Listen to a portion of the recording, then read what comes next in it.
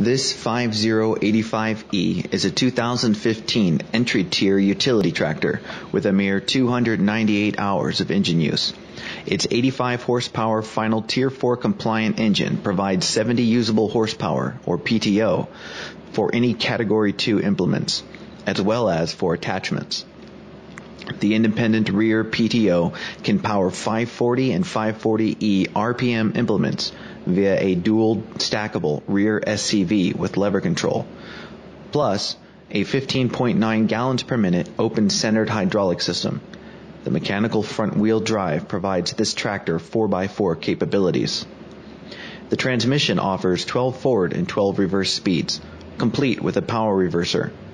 Its standard cab opens via a right-hand door and includes air suspension seat, LCD instrument cluster, heating and air conditioning, and panoramic windshields.